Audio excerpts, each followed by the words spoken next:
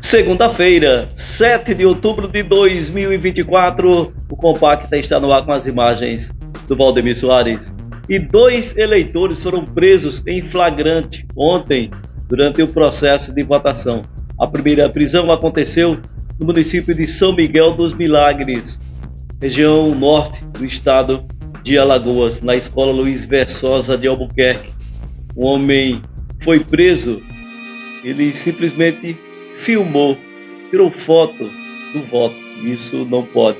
A outra prisão, pelo mesmo motivo, aconteceu na Escola Municipal Nossa Senhora do Pilar, no bairro Pilar, município do Pilar, região metropolitana de Maceió. Um homem de 35 anos também foi detido sob a acusação de ter fotografado seu voto na cabine de votação. Ele fez uma selfie, olha, foi lá, digitou, quando fez plim, plim, plim. Aí ele, ó, fez a foto. O mesário viu, chamou a polícia e ele foi preso em flagrante. E a Polícia Civil, por meio da Delegacia de Homicídio e Proteção à Pessoa, DHPP, prendeu um jovem de 20 anos. Ele é suspeito de envolvimento no assassinato de Eric dos Santos Carvalho, de 24 anos, integrante de uma torcida organizada do CRB. Eric foi morto com vários disparos de arma de fogo. O crime aconteceu no último dia 12 de setembro deste ano, na rua Santa Fé, no bairro Clima Bom, aqui em Maceió.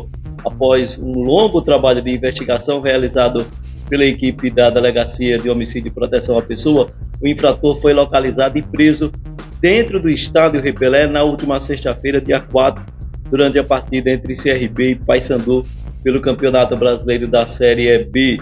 Ele também é investigado por outro homicídio na área do Clima Bom. A ação que resultou na prisão do suspeito também contou com o apoio de policiais militares que estavam trabalhando no estádio durante a partida. Ele também foi identificado pelas câmeras de monitoramento facial. No dia do crime, populares informaram que Eric, que residia no bairro Dom Jacintinho, fazia parte da torcida organizada e teria saído de motocicleta acompanhado de amigos.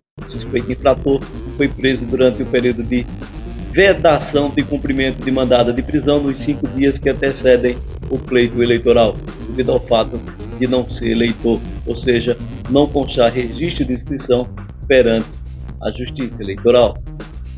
O Compacta desta segunda-feira fica por aqui. Outras informações, portalacta.com ou logo mais à noite no Jornal do Acta, com Derek Gustavo. Até lá!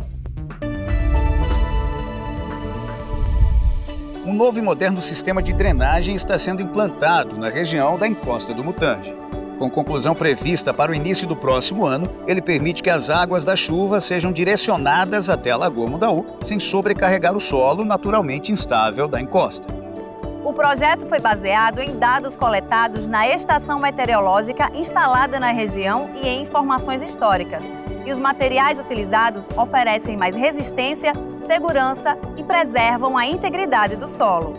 Essa e outras ações, como terraplenagem e o plantio de cobertura vegetal, estão em andamento na região da encosta do Mutange.